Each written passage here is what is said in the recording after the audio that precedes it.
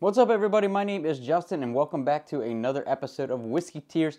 If you're new here, please make sure you hit like and subscribe. I'm really trying to put in a lot of good time and effort and content for 2023, so it really mean a lot for me to see you guys start hitting subscribe on the channel because 95 plus percent of you that watch these videos are not subscribed. But that's neither here nor there because on today's video, because on today's video, we are doing bare knuckle single barrel cask strength.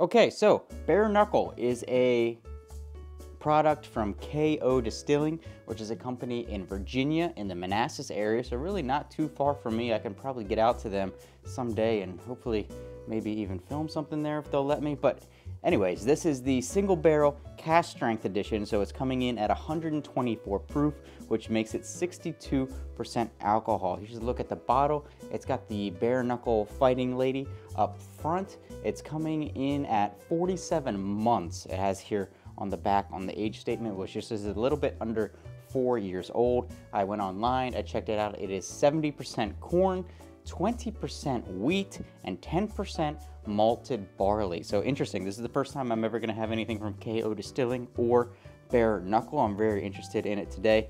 On the back, it reads for ages, women like men have battled for family to make a living for rights and just causes, like the American female fighter from the early 1900s who was on your front label, our front label. Some have ventured into the ring to apply their pugilistic, pugilistic skills to fight, win, to advance, and to prevail. For all those women who work hard every day, we salute you. KO Distilling has created bare knuckle straight bourbon whiskey. It is a strikingly smooth, handcrafted wheat bourbon sourced from local grains, which are milled, mashed, fermented, and double distilled in small batches, aged in charred new American oak barrels. It's KO's fourth whiskey. We hope women and men alike find it to be a knockout spirit like we do. So, coming in at 47 months, this is barrel number 18 0314, bottle number 8 out of that barrel. So, pretty pretty low bottle number out of there. So I've seen bare knuckle around. I've never had it before. So when I saw the single barrel cask strength edition today while I was out, I had to buy it. it cost me $60. Okay, let's go ahead and do the bottle pop. Ooh, very nice bottle pop there. All right, I like to nose everything out of the bottle first before we get into the pour. Mmm, interesting.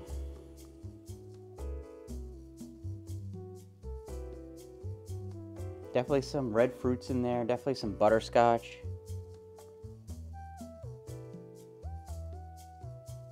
A little bit of barrel char smokiness. All right, let's go ahead and get into the pour. Okay, so I overall I like the labeling. I like the bottle. It all looks pretty good to me. It definitely screams craft spirit with that label and everything on there, but I like it. I don't really have any complaints about it.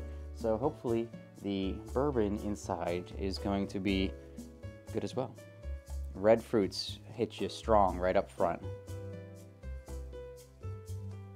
A little bit of butterscotch there in the background, some a little bit of leatheriness.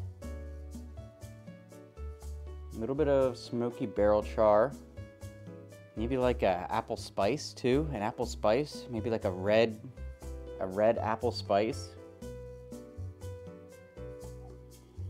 You can definitely smell the influence of the wheat and the malted barley in there.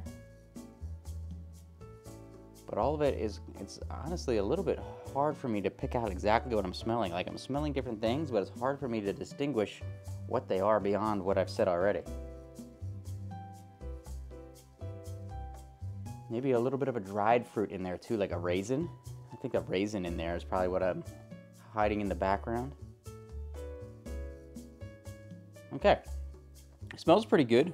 Coming in at 124 proof, so that's kind of right in the range of where I love them. Hopefully it's good. Cheers, everybody. You definitely get the red fruits up front. It's not overly oily or anything like that. It doesn't coat the tongue, which generally I really like, but it's also not bitter at all. I'm not getting any bitteriness out of this, which is good. I was a little bit worried about that because sometimes when I have the malted barley stuff, scotch, whatever, it tends to get a little bit bitter on me.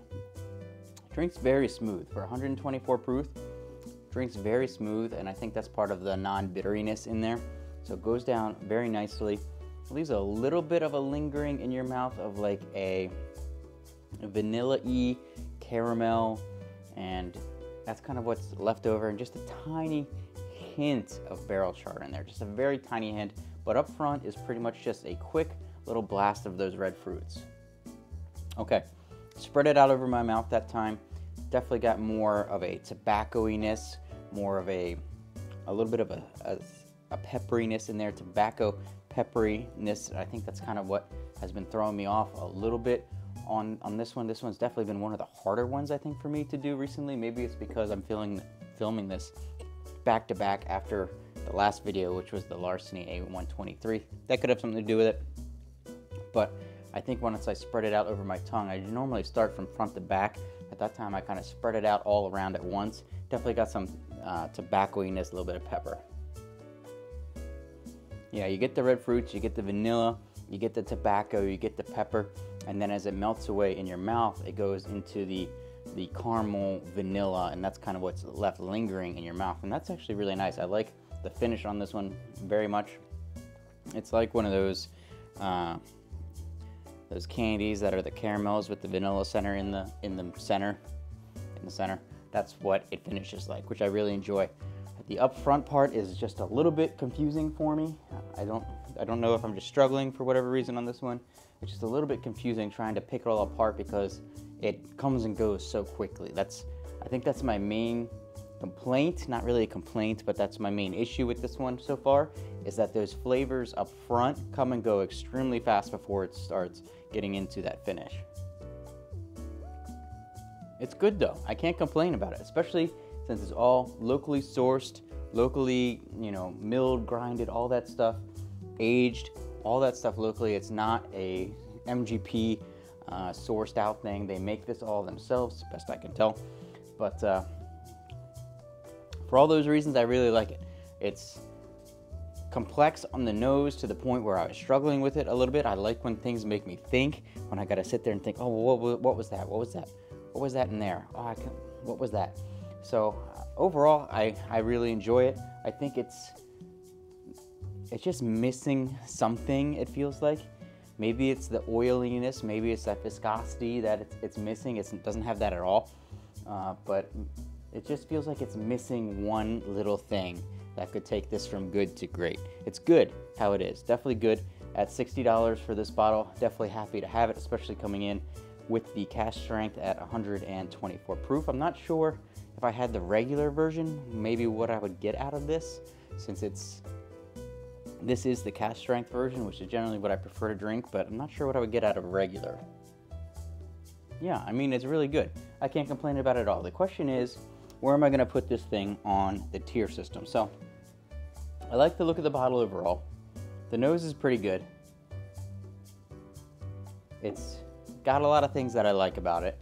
It just feels like there's something missing, and I can't put my finger quite on it. But I think I'm maybe over over analyzing it a little bit because overall it is very very good bourbon, especially for cask strength. Really enjoy it. It's tasty. I'm happy to have it. I'm happy to drink it. I'm gonna I'm gonna drink it, and it's definitely a cool one with the imagery on there to have up on the display here on the shelf for when people come over. So I think if I'm gonna put it on the tier system, I'm gonna go with the B tier. It's pretty good. It's not supreme quality that I'm gonna save and save and only drink special occasions or anything like that but it's certainly a very good bourbon. Not bad at all. It doesn't have any bitteriness, which I really, really enjoy because sometimes you can just have one that just got that bit of bitterness on it that just takes away from the flavors. It doesn't have that at all. Not bitter at all. All the flavors are there. They just come and go very quickly before it gets into that finish. When the finish is good though, so I can't really complain about that. I just wish the initial flavor stayed a little bit longer. So bare knuckle, you're going on the B tier. You're a very good bourbon. I'm definitely going to be interested in having more from them in the future. And I would love to get up one day and check out the distillery and their tasting room. So I don't know if you guys have had this before, but if you have, let me know down in the comments below. I feel like this review was maybe a little bit all over the place. I don't know. I don't think I nailed this one overall. I might have to come back to this one again in the future. But thank you all for being here. Please make sure you hit like and subscribe, and I'll see you in the next one.